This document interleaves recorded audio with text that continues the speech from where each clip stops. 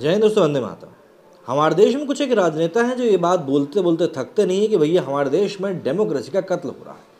अगर मैं आपको बताऊँ कि डेमोक्रेसी जहाँ नहीं होती है, वहाँ क्या होता है तो मेरे हिसाब से आपको जितने भी मिडिल ईस्ट के देश हैं ना, जहाँ पर भी इस समय अनस्टेबल हालात बन रहे हैं, आपको उन सभी की तरफ़ एक बार ध्यान से ज़रूर देखना चाहिए। वहाँ पर इस समय जो चीज़ें चल रही हैं, वो ये बात बताने के लिए काफ़ी है कि किस तरीके से एक देश में माहौल को बिगाड़ा जा सकता है, अगर वहाँ पर डेमोक्रेसी नहीं है तो। डेमोक्रेसी में तो फिर भी किसी की बात सुनी जा सकती है, लेकिन जहाँ पर डेमोक्रेसी नहीं होती है, वहाँ पर जिस तरीके से अभी तालिबान ने लड़कियों के ऊपर डंडे बरसाए हैं, उस तरह से डंडे बरसते हैं। खैर, इतना ज्ञान देने के बजाय सीधे मुद्दे पर आता हूँ। दरअसल पठान का टीज़र रिलीज़ हुआ है, और इस टीज़र को बताया जा रहा है कोल्ड ड्रिंक का सस्ता कॉपी क्यों ऐसा हो रहा है और किस तरीके से अब लोग पठान को भी ट्रोल करना शुरू कर चुके हैं, जरा जान लेते हैं इस वीडियो बॉलीवुड अभिनेता शाहरुख खान के संतावनवें जन्मदिन के मौके पर उनकी अपकमिंग फ़िल्म पठान का टीज़र रिलीज़ किया गया है।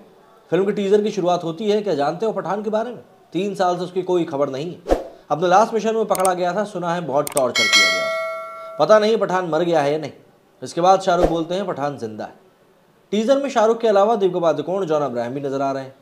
टीज़र के अंत में शाहरुख कहते हैं, अपनी कुर्सी की पेटी बाँध लो, मौसम बिगड़ने वाला है। हालाँकि फ़िल्म का टीज़र दर्शकों के गले उतर नहीं रहा। सोशल मीडिया पर पठान को लेकर जहाँ एक तरफ़ लोग तारीफों के पुल बाँध रहे हैं तो वहीं दूसरी तरफ़ बॉयकॉट करने की मांग भी उठने लगी। फ़िल्म का टीजर देखने के बाद ट्विटर पर एरे मृदुला काथी नाम के एक यूज़र ने लिखा कि पठान का टीजर पुराने कोल्ड ड्रिंक का विज्ञापन लगता है। बॉलीवुड का एक और घटिया डब लेकिन ठीक है, आपके पास फेक प्रचार के लिए दुनिया का सबसे महँगा पिया और बूट लिकर्स हैं। हताश पीआर ऐसे लोगों से ज़्यादा एंटरटेनिंग होता है। अब एक और यूज़र जिसका कि नाम पॉलिटिक्स में पीएचडी है, उसने लिखा कि fifty seven year old still wanting to play hero भाई हीरो का दादा है तू अब। कितना डिजिटल रीमिक्स कर लो, बुढ़ा हो गया है पठान।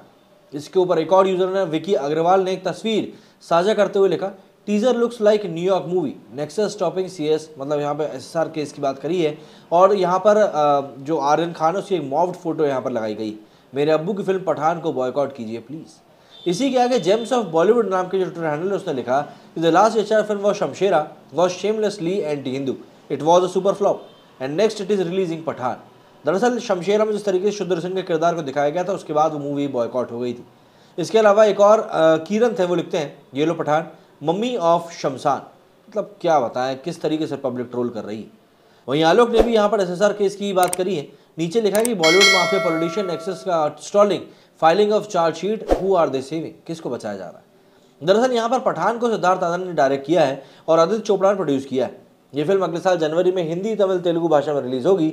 इसमें शाहरुख और जॉन अब्राहम की ज़बरदस्त फाइटिंग मतलब फेस ऑफ़ दिखाया गया और लोग उसके बाद से ही लगातार इसके ऊपर आरोप लगा रहे हैं कि भैया, ये मूवी जो है अलग अलग मूवीज़ को कॉपी करके बनाई हुई एक समागम मूवी ज़्यादा लग रही खैर, इस मूवी को जो चाहने वाले हैं, वो लोगों की ज़्यादा संख्या भी अच्छी खासी है। लेकिन जैसा कि अभी एक ट्रेंड बन चुका है कि हर चीज़ में से कुछ ना कुछ खींचतान के बाहर ही निकाल लेना पड़ता है। लेकिन यहाँ पर टीज़र फिर भी काफ़ी हद तक ठीक ठाक ही दिखाई पड़ रहा है। लेकिन जो लोग यहाँ पर बॉयकॉट की बात कर रहे हैं, देखिए उनकी बात करना ज़रूरी क्योंकि कहीं ना कहीं उनकी भी तो आवाज़ उठानी पड़ेगी। तो यहाँ पर इसीलिए मैंने आपको कुछ एक ट्वीट दिखाया, बाकी पठान के टीज़र की तारीफें ही इस बार ज़्यादा हो रही हैं। बॉयकॉट का पड़ला कहीं ना कहीं नीचे ही दिखाई दे रहा है। आपका इस बारे में क्या कहना है, मुझे कमेंट करके ज़रूर बताएँ। मेरे स्टूडियो फ़िलहाल इतना ही। जय हिंद। जय भारत।